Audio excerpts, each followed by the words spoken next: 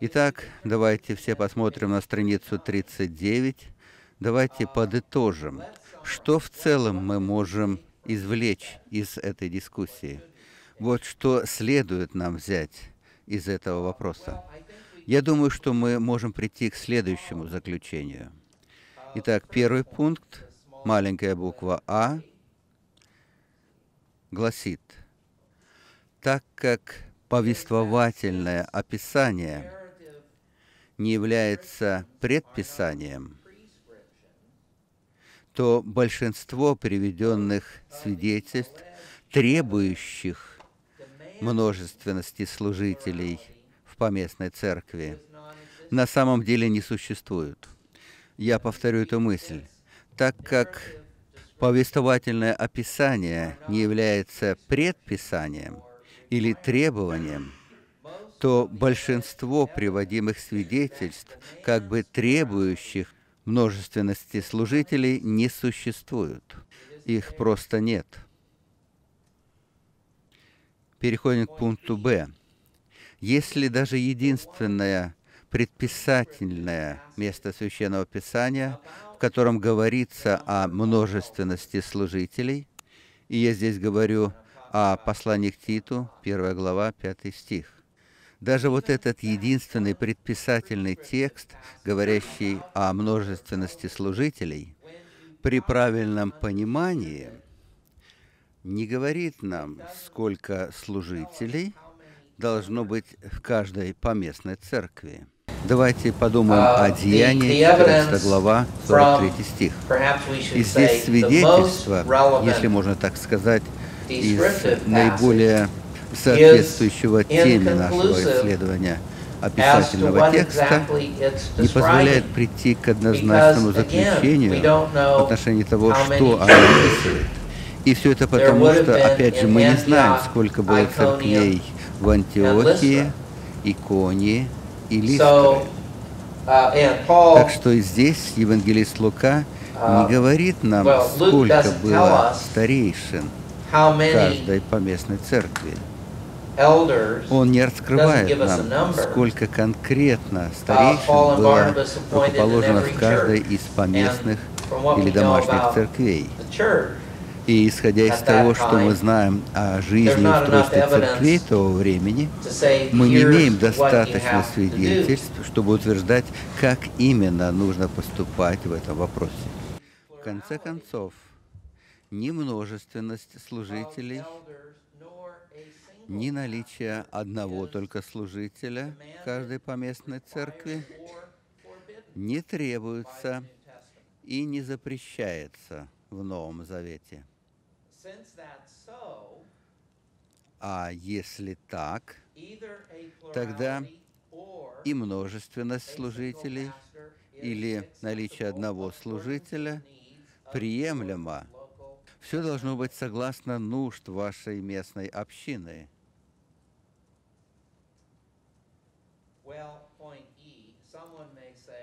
Что ж, теперь переходим к пункту Е.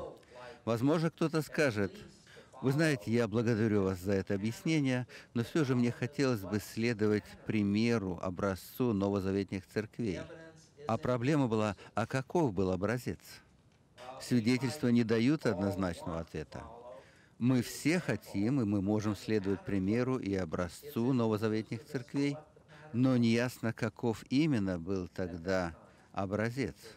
Имеется в виду в то время церковной истории. Что ж, и теперь давайте рассмотрим пункт F. В конце концов, этот вопрос оставляется на рассмотрение и на выбор поместных церквей, а также на рассмотрение деноминаций с учетом той культуры, в которой они находятся. И я не собираюсь утверждать, что вы должны иметь множество служителей вашей церкви, или вам нельзя иметь множество служителей вашей церкви. Но, тем не менее, несколько советов мне хотелось бы вам дать. Не уверен, достаточно ли места в рабочей тетради оставлено на это.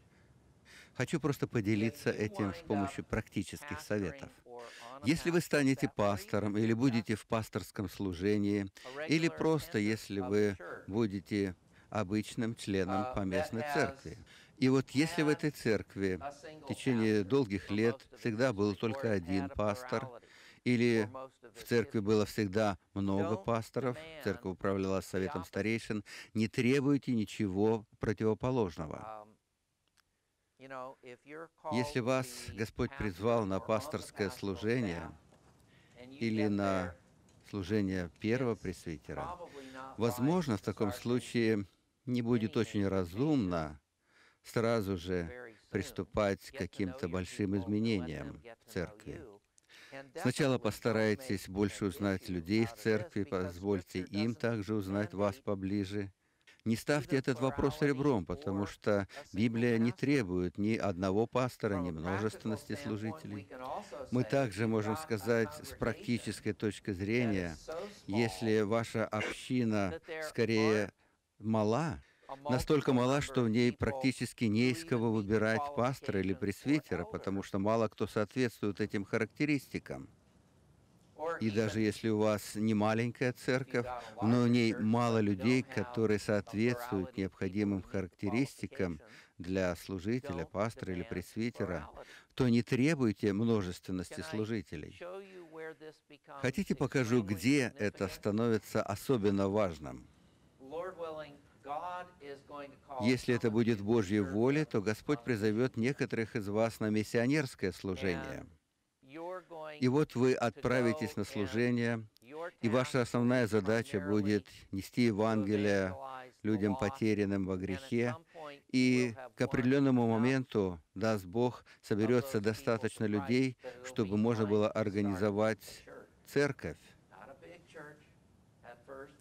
Это, скорее всего, не будет большая церковь, это будет маленькая церковь, может быть, вы начнете собираться, когда вас будет человек 15, может быть, 20, может быть, 30 человек. И это будут в основном люди, тех, которых вы лично привели или кто-то еще привел в течение последних двух-трех лет. И насколько вероятно будет такая ситуация, что в такой группе вы найдете старейшин – в множественном числе. Позвольте сказать по-другому. Насколько вероятно, что в этой группе будет э, возможность избрать множественное количество служителей? или старейшин. Что я здесь имею в виду? Посмотрите в Священное Писание, посмотрите на те характеристики, которым должен соответствовать человек. Это очевидно, что новообращенного человека нельзя просто похлопать по плечу и выбрать руководителем в церкви. Такая же ситуация будет и с диаконами. Через какое-то время мы об этом также поговорим. Uh, Итак, даже более того,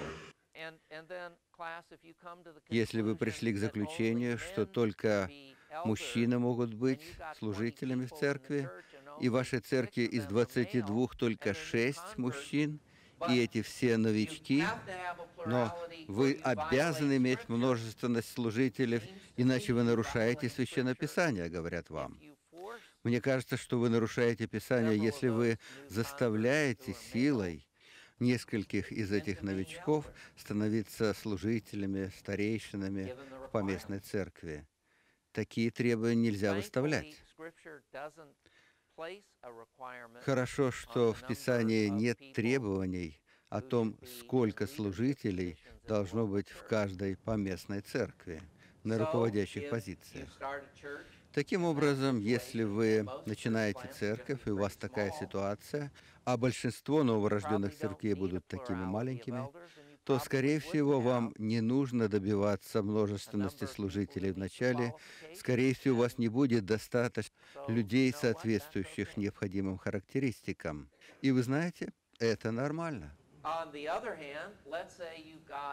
С другой стороны, если вы оказались в сравнительно крупной церкви, Господь призвал вас на пресвитерское служение в какой-то церкви в Америке, и это достаточно крупная церковь, а вы привыкли к небольшой церкви, где был только один пастор и, возможно, еще молодежный руководитель.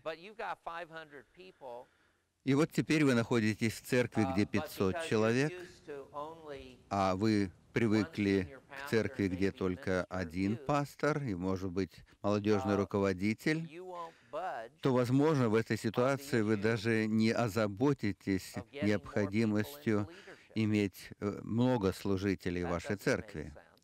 Такое отношение будет трудно понять и принять. Одному служителю будет очень трудно послужить, причем плодотворно послужить такому количеству людей. Даже просто здравый смысл подсказывает, что при таком большом количестве людей разумно будет подыскать еще несколько мужей, обладающих необходимыми качествами для служителя, найти их в поместной церкви и затем попросить их рассмотреть, призывает ли их Дух Святой, направляет ли их Дух Святой включиться в служение руководства в поместной церкви.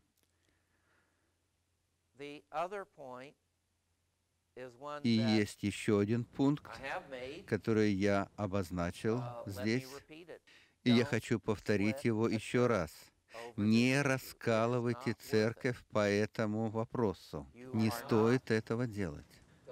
Вы никак не проявляете пренебрежение к Священному Писанию, если вы не готовы воевать по этому вопросу.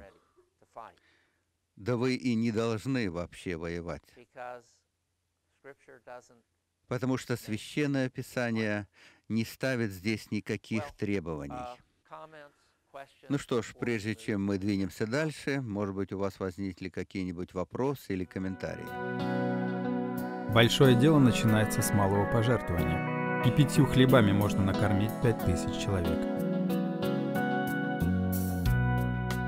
Поддержите наш проект молитвой и финансами. Информацию, о чем молиться и как пожертвовать, вы можете найти на сайте tvseminary.com. Пожалуйста. Я не уверен, упоминает ли об этом Эриксон в своей книге, но вопрос такой, насколько еврейское воспитание апостола Павла влияет на этот вопрос в отношении служителей старейшин? Да, я не знаю вообще, есть ли ответ на этот вопрос. Вы знаете, есть определенные элементы в текстах апостола Павла, которые показывают влияние его бэкграунда и в то же время есть много других элементов, которые радикально отличаются от иудаизма. Кто-то говорит, что это ужасно, а кто-то говорит, что это очень хорошо. Ну давайте вместе посмотрим. Если вам не очень нравится то, что апостол Павел не является таким уж прогрессивным в отношении женского служения в церкви, Просто представьте себе ситуацию и отношение к женщинам в то время в иудаизме. Я здесь не говорю о немного реформированных, таких прогрессивных типах и формах иудаизма, в таких формах, где богословие не является таким важным вопросом. Нет, я говорю об очень строгих формах ортодоксального иудаизма. С женщинами там не считались вообще ни в чем.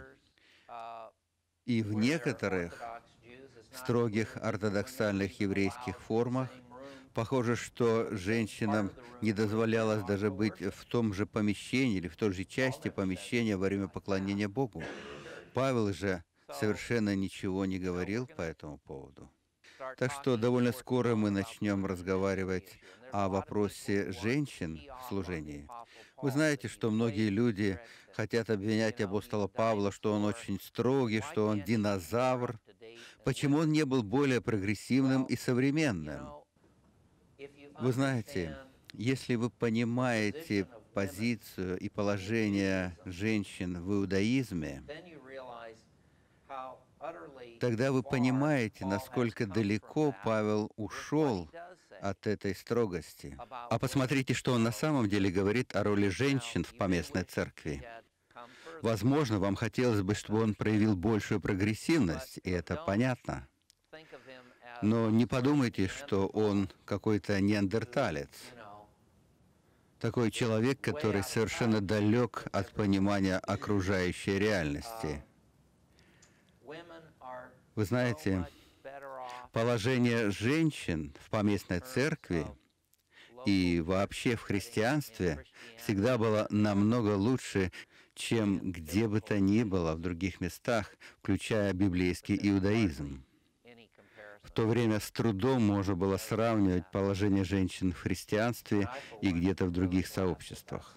И я лично очень рад, что так оно и было. Ну хорошо. Какие-либо другие вопросы? Этот был очень хороший вопрос. Спасибо.